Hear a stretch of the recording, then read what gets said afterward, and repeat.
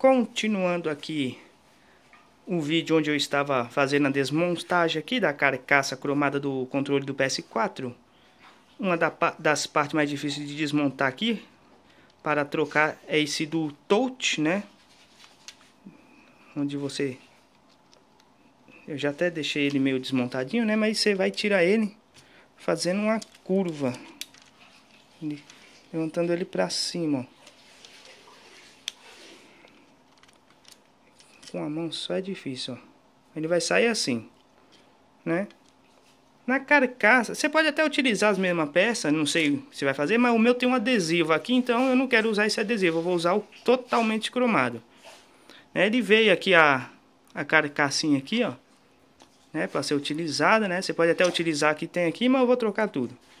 Então essa carcassinha aqui, você tem que tomar muito cuidado ao desmontar o touch, tá? É, eu, você pode estar tá utilizando um soprador térmico bem de levezinho, bem fraquinho, só para dar uma soprada de ar quente para poder amolecer a cola dupla face que contém, ó, olha só como ele que solta, que ele tem uma dupla face presa. Então, olha aqui, ó, duas dupla face quadradinha aqui, ó, um em cada ponta. Né? Deixa eu tentar focar aqui. Duas dupla face, né?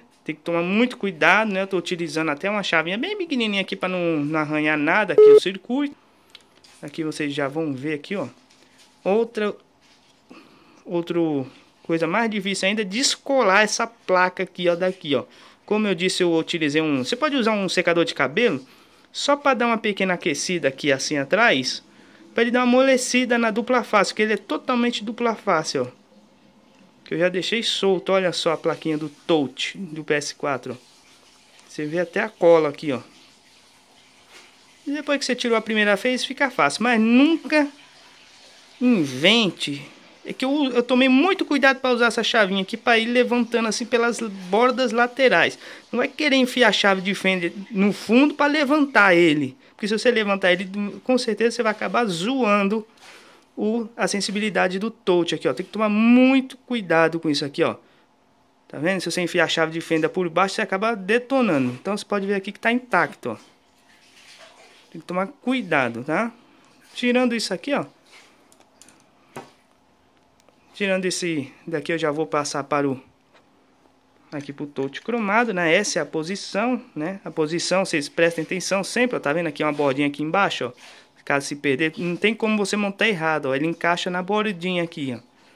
Então, posiciona ele bem centralizado, da mesma forma que estava no outro, e cola, tá? Opa, caiu aqui, eu já pego. E aqui também, ó, já vou estar tá desmontando, que eu virei aqui ao contrário, ó. Então, como eu disse, marquem as posições de tudo, as borrachinhas, essas borrachinhas tudo aqui, ó, vai, você vai ter que tirar daqui dessa carcaça que eu vou guardar essa carcaça original.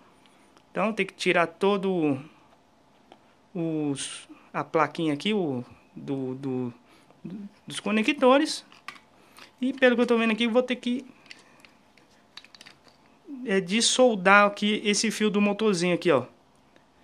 Esquentar com um ferro de solda para eles desconectarem para poder descolar o, o motorzinho que aparenta ser com dupla face. Só esquentar a dupla face aí para amolecer ele já solta, tá?